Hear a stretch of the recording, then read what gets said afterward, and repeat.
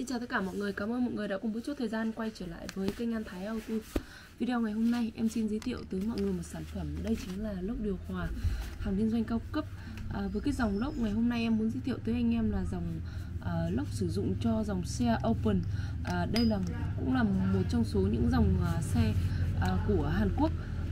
Dòng xe này thì chúng ta nhìn à, sơ qua thì nó rất là giống à, với cái lốc này này nó rất là giống với CDX nhưng mà anh em nhìn nó có một cái thay đổi à, một khác đó là cái mặt bích của nó thì sẽ có điểm thay đổi. Đường cao của cái lốc này sẽ xuống dưới và đường hạ lên trên.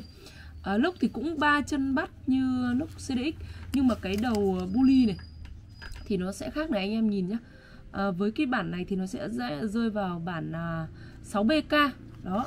À, ra rắc điện thì cũng y chang như CDX nhưng mà đường đường kính của cái bully thì nó sẽ nhỏ hơn.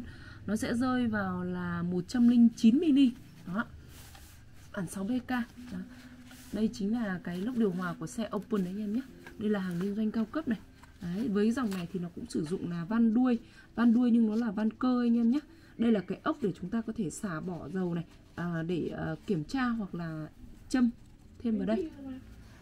Đó à, thì à, vừa rồi em có vừa giới thiệu sơ qua anh em cái sản phẩm đó chính là à, dòng lốc điều hòa của xe Open anh em quan tâm tìm hiểu về sản phẩm thì hãy nhấc máy lên liên hệ với em theo số 0769086333 à, Cảm ơn mọi người đã cùng bước chút thời gian xem video của em. Hẹn gặp lại mọi người trong những video kế tiếp. Em xin chào.